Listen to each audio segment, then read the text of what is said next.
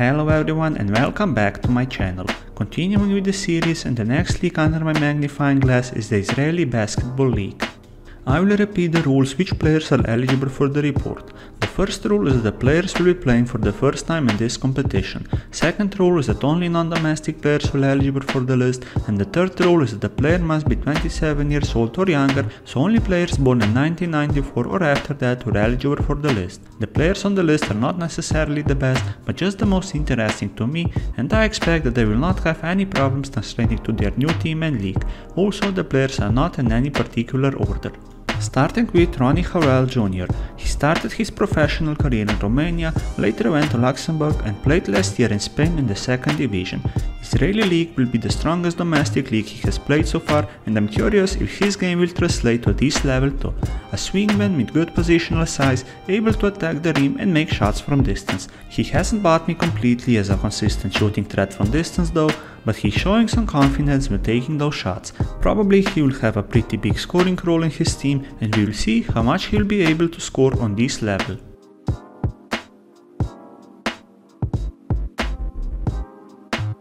Another interesting player in Hapoel Gilboa Galil is Sacha Killeya-Jones.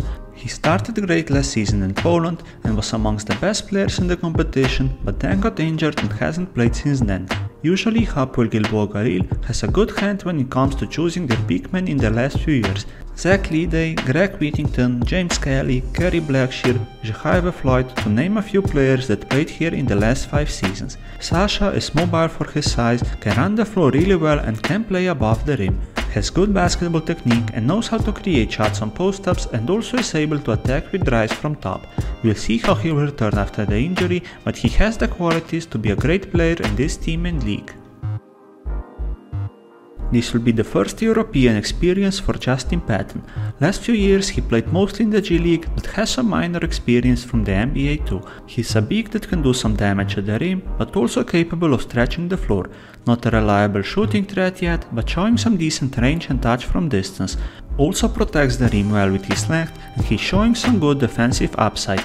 Justin played some good matches and preparations and I think he could be a really good player in Europe. Timothy Soares is a similar player as Patton, but Timothy already has a season in Europe under his belt. He played in Turkey in the second league last season and had a very good season there. Tim is mobile for his size and great in pick and roll actions, rolls quickly and directly to the rim, has good hands and can play above the rim too, showing some decent touch from distance too and if he will be able to show similar performances in Israel as he did last year in Turkey, he'll quickly be in the notes of some bigger and richer clubs.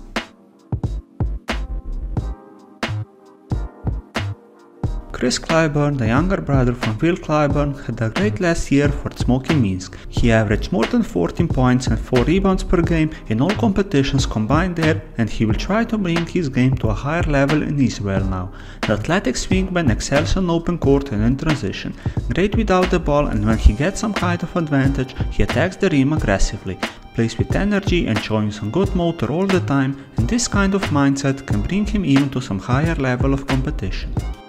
The only rookie on my list is Javion Hamlet that is coming to Israel directly from college.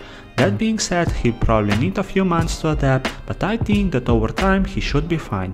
Javion has good positional size and uses it well on drives. He's not the most explosive player but somehow able to create some separation, versatile game in offense and can do many things on the floor. I'm not completely buying his shot yet even though he had some good percentages in his college days. I think he can make a solid career in Europe.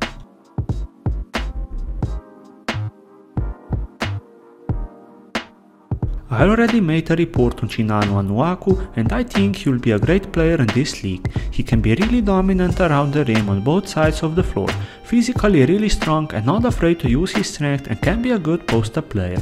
Also pretty good in pick and roll sets and I think we will see a lot of dunks from him in this season. In defense he's a good rim protector and can crush the boards on both ends.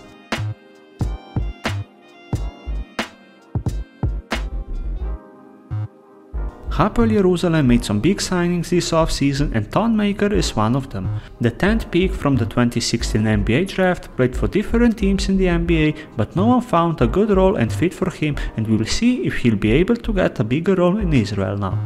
Thon can be a game changer with his size and length, but his offensive game is still somehow unpolished. He can make shots from distance and give the team some stretch, but not really a reliable shooter in my opinion.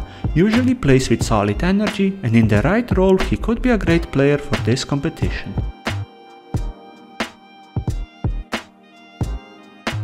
Another interesting player that signed for Hapoel Jerusalem is Kaiser Gates.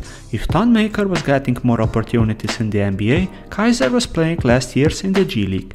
He had some 20 plus points games in the G League, but he didn't make the jump in the NBA. The athletic 3 D wing plays mostly off the ball and sinks those open 3 point shots. His release is high and not contested that easily limited as a creator, but if his teammates will create him some space, he will make those open shots and bring some points to the table. This will be his first season outside of USA, but I believe that his game will translate perfectly to Europe. Finishing the list with Dererk Pardon, undersized big with great motor and energy, always plays hard and competes for every ball. He can turn around quickly and this agility enables him to create something from the low post against bigger and taller players. Has a very good feel for rebounds and is always at the right place. Usually knows what he needs to do and is doing that stuff on a decent level. Definitely a player to watch since he has the potential to go to a higher level at the end of the season. And this is it for this time. Tell me in the comments below who are the players you can't wait to see in the Israeli League in this season. The playlist of the Newcomers to Watch series is on the screen now and if you missed any episode, just click on the playlist and check it out now. And don't forget to subscribe to the channel so you don't miss the next episode of this series. See you in the next video.